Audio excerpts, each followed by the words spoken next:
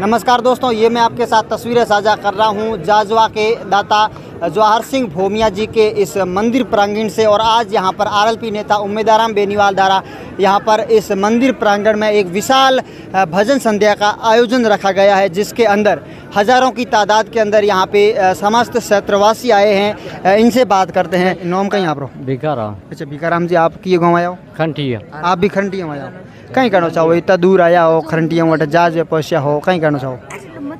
बोटहरू भाइ देवनाहरू आयो માટે જાન બાબેર મંદિર હે હટી જાન अच्छा मंदिर भी जा ना हो और बोटोर ही देख ना हो હા આઈ हैं सही बात है कहीं लागे हमके भाई तू बूढ़ा बुजुर्ग आप जरूर लागे कहीं है। आपने उम्र को भी तजुर्बो है कई चुनाव देखा है कई पार्टियों देखी है कहीं लागे हमके જરૂર લાગે હે ભાઈ જણો તો આયા યા हाँ હા ભાઈ કો हाँ તકડો લાગે आर एल पी घुमा बोला आपने तगड़ो लागे अच्छा लेकिन आरल एल हाथ तो एक बात है घनी कहवे के छोरा पार्टी है बूढ़िया बहुत कम है। पार्टी आ थोड़ी।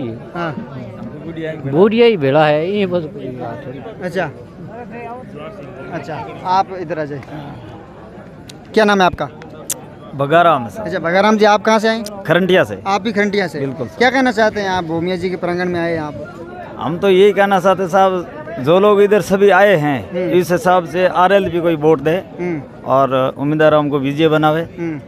और जो उम्मीदवार जी है वो काम के लिए बहुत अच्छा है आदमी है। हम्म, इसलिए हम हम्म, साथ यही है कि हम्म। हम पहले कांग्रेस में थे साहब। अच्छा। कई सालों से ही हम कांग्रेस में थे। और कोई काम क्या वजह रही कांग्रेस छोड़ने की?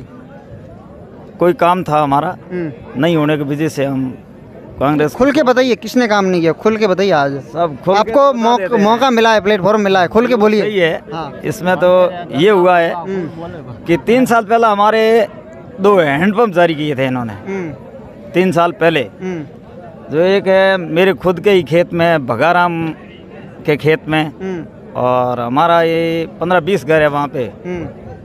मेघवाड़ों के हम्म, और पंद्रह बीस घर है खेतों खेतोनी भीलों का। उसमें हैंडपम्प जारी किया खेतोनी बिलो का और हमारा। हम्म, तीन साल में हैंडपम्प नहीं हुआ। हम्म, इसलिए पहले हमने बहुत उसको फ़ोन किया। हम्म। फ़ोन करके। किनको फ़ोन किया? वो हरी जी को विधायक साहब को। विधायक साहब को फ़ोन किया। और उसके आगे जो कार्यकर्ता का है उनको भी बोला। लेकिन कोई हमारा सुना नहीं। हम्म, इसलिए हमने मन बना दिया है अब की बार हम पूरे पूरे वोट आरएलपी को ही देंगे बस। अच्छा। हाँ बिल्कुल। अच्छा क्या लगता है इस बार? क्या माहौल चल रहा है और बिल्कुल हंड्रेड परसेंट आएगा ये उम्मीदवार हम पार हो जाएगा जीतेगा। अच्छा लेकिन वो तो आपकी निजी लड़ाई थी लेकिन अगर विकास की बात करें ओवरऑल बाईतू में तो हरीश चौधरी कहते हैं कि यहाँ पे अच्छा विकास हुआ है क्या मानते हैं आप? नहीं हुआ होगा किसी के हुआ है तो। हम्म। लेकिन हमारा दो हैंडपम्प नहीं हुआ तो कहाँ काम हुआ है? अच्छा। हुआ होगा आपको क्या लगता है? कैसे बन सकता है? हम्म, मैं ये मानता हूँ सर। हम्म। हाँ। अच्छा बिल्कुल मैं आप आइए इधर आइए। सर क्या नाम है आपका? मगाराम चौधरी। अच्छा मगाराम जी कहाँ से आप? भाई तू नरसाली से। बाईतू से। हाँ। क्या कहना चाहेंगे यहाँ पे जिस तरह का आज ये जन सैलाब उमड़ा है ये धार्मिक सभा के अंदर कहीं ना कहीं राजनीति भी नज़र आ रही है कि आप क्या कहना चाहेंगे? मैं तो यही कहता हूँ कि उमेद राम जी एक सक्षम और मतलब बहुत हार्ड वर्कर आदमी है मिलनसार आदमी है और वास्तव में काम करने वाले गरीब के साथ के सबके साथ में मतलब बच्चों से लगा कर बुज़ुर्गों के साथ में काम कर रहे हैं। और वास्तव में योग्य है। दूसरी बात है एजुकेशन के संबंध में जितना इनका मतलब सहयोग है।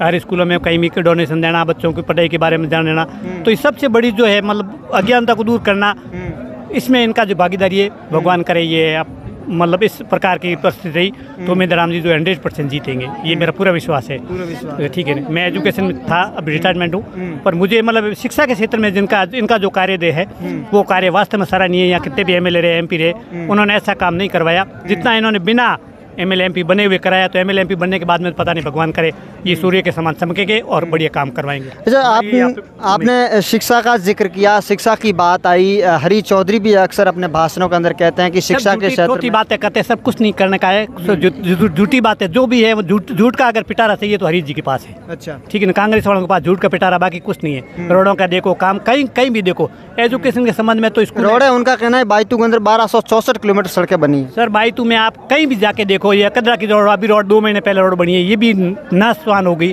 तो उससे पहले वाले रोडों के बारे में तो कोई बात नहीं। ये जितना बोल रहे हैं सब झूठ बोल रहे हैं। कोई कई रोड नहीं है ये सब बाबे बूढ़े वाले सब जानते हैं। कहीं भी रोड नहीं ना कोई काम है। और मैं तो यही अपेक्षा करता हूँ कि ऐसा सजग ऐसा होनार ऐसा व्यक्ति जो आगे आए और हमें हम उनको संबल बढ़ाएँ तो वो हमें बहुत बढ़िया बाइतों का विकास कर सकता है करेंगे बिल्कुल इसमें उम्मीद पूरी। अच्छा बिल्कुल। सर क्या नाम है आपका? ओम प्रकाश चोटिया। अच्छा ओम प्रकाश जी कहाँ से आप? कानौर से। कानौर से। बहुत बढ़िया। जिस तरह से आज ये इतना जनसैलाब उमड़ा है धार्मिक सभा के अंदर कहीं ना कहीं राजनीति भी राजनीति की भावनाएँ भी लोगों की बाहर निकल रही है। आप क्या कहना चाहेंगे? देखिए ये जन सैलाब यहाँ पे दाता जवाहर सिंह जी के जागरण में पधारा है और बाकी हर लोग की एक मानसिकता होती है कि उनका किसी एक के प्रति समर्पण होता है। तो लोगों का समर्पण है उमेदा राम जी के प्रति। लोगों की दिल में है। आज अभी तक आचार संहिता लगी नहीं, आचार संहिता के बाद तो बहुत सारे लोग खुल के भी बाहर आएँगे। लेकिन फ़िलहाल में ये आपको हजूम दिख रहा है। क्या ये एक ट्रेलर है, हम मान सकते हैं इसे? नहीं सकते? ये आप इसको अभी ट्रेलर नहीं कह सकते हैं पिक्चर भी नहीं कह सकते हैं। ये एक मज़बूत पाँच साल का संघर्ष है। और अभी इसकी शुरुआत हुई है मात्र ये शुरुआत ही कह सकते हैं इसको। बाकी ट्रेलर और पिक्चरें भी होगी सब होगी उसके लिए समय है अपने पास। लेकिन ये एक पाँच साल की जो मज़बूत पकड़ है, फ़ील्ड के अंदर में आम जन का काम किया है, विपक्ष में रहते हुए लोगों के काम किए हैं। बजरी जैसा मुद्दा उम्मीदवार राम जी ने उठाया था और पंचानवे दिन बालोतरा की धरती पर धरना दिया था, जिससे आम जन को राहत होनी चाहिए थी, लेकिन ये निकमी सरकार और यहाँ के माननीय पूर्व मंत्री जी की शय से बजरी की दरें कम होने की बजाय बढ़ गई। तो इसका जवाब अब जनता आने वाले चुनावों में ज़रूर देगी।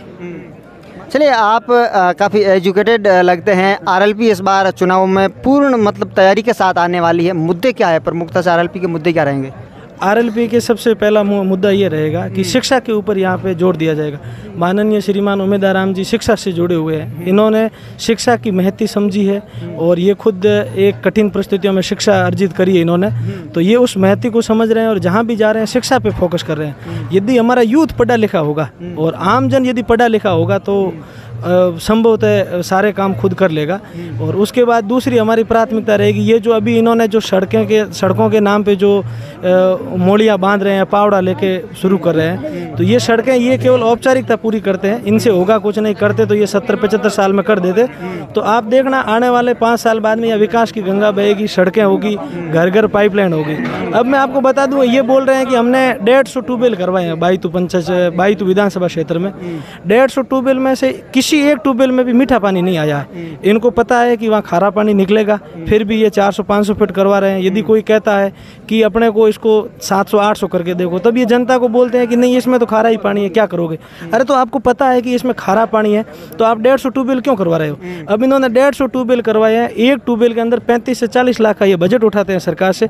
डेढ़ सौ का साठ करोड़ रुपए का बजट होता है। अब साठ करोड़ में से ये खर्चा करेंगे पाँच करोड़, मात्र दिखावटी के लिए। पचपन करोड़ रुपए ये भ्रष्टाचार निकमे लोग खा जाएँगे मिलके। यदि इनको लोगों को पानी पिलाना होता तो ये पाइपलाइन डालते नाचना से। और यहाँ तक अपने पाइपलाइन आती, बाईतू, गिड़ा, पाटोदी, तीनों क्षेत्रों के अंदर पानी ही पानी हो जाता। लेकिन इनको पानी नहीं पिलाना, इनको तो भ्रष्टाचार करना है। और इन्होंने ये फॉर्मेलिटी कर दी, ट्यूबवेल के नाम पर पैसे ले लिए सरकार से। आप इनकी इंक्वायरी बिठाओ, उसमें जाँच कराओ, इन्होंने कितना घोटाला किया। ये इनको पता है, ज़मीन में खारा पानी तो ऐसा धंधा क्यों कर रहे? इनको वहाँ से पाइपलाइन डालनी चाहिए। आपने पहले मौली व पावड़े का ज़िक्र किया तो आपको बता दूँ, हरी चौधरी ने इस बारे में भी ज़िक्र किया है। उनका कहना है कि मेरे पिताजी और मेरे परिवार में कोई एमपी एमएलए नहीं था। मुझे पावड़ा तकारी उठाने में कोई हिचक नहीं है, कोई शर्म नहीं है। क्या कहना चाहेंगे आप? जी इस पे मैं उनसे ये कहना चाहूँगा यदि उनको हिचक नहीं है तो ये अभी चुनावों के टाइम पे क्यों उठा रहे हैं? पिछले साढ़े चार साल कहाँ थे? उन्होंने किसी ने मना किया था? मैं भी एक किसान का बेटा हूँ मेरे घर में भी पावड़ा तगरी मैं भी उठाता हूँ काम करता हूँ तो मैं तो हर दिन काम करता हूँ तो वो चुनावों के टाइम पर ये क्यों कर रहे हैं? इससे पहले उन्होंने कभी किया? उनसे आप क्वेश्चन करना आप चुनावों के टाइम क्यों कर रहे हो ये चीज़? चुनाव से पहले करते फावड़ा उठाना था तो? चुनावों से पहले तो आप रहते हो दिल्ली गए हैं पंजाब में गए हैं। अब चुनाव आ गए पावड़ा ले लिया एक पावड़ा उठा लिया। पहले जनता भोली भाली थी अब लोग बहुत समझदार हैं। ये पावड़ा आप उठा रहे हो सबको पता है कि ये कैसा पावड़ा इसी पावड़े का गड्ढा खोद के आम जनता को आप अंदर डाल दोगे। तो आप ये भरोसे में निकाल दो दिमाग से इस बार जनता समझ चुकी है। और ये पावड़े और मौली वाला नाटक तो चलेगा नहीं। मंत्री जी से मेरी तो एक ही सलाह है कि वो इसकी बजाय कुछ और अच्छा काम करे आम जन के हित में। लोगों ने उनको वोट दिए हैं, पाँच साल उन्होंने पूर्व मंत्री भी रहे हैं, ढाई तीन साल तो उनको लोगों के काम करने चाहिए, ये नाटकबाजी या दिखावटीपन नहीं करना चाहिए। चलिए बहुत बहुत धन्यवाद भाई साहब हमसे बात करने के लिए। तो दोस्तों, ये यहाँ पे तमाम दाता जवाहर सिंह भोमिया जी के मंदिर प्रांगण में पधारे हुए सभी लोग थे और इन्होंने अपनी अपनी राय अपनी अपनी प्रतिक्रिया हमारे प्लेटफॉर्म के माध्यम से रखी। आपकी इनकी राय व प्रतिक्रिया के बारे में आपके क्या विचार है वो आप हमें कमेंट सेक्शन में ज़रूर बताइएगा। इस वीडियो में इतना ही, मिलते हैं अगले वीडियो में। नमस्कार।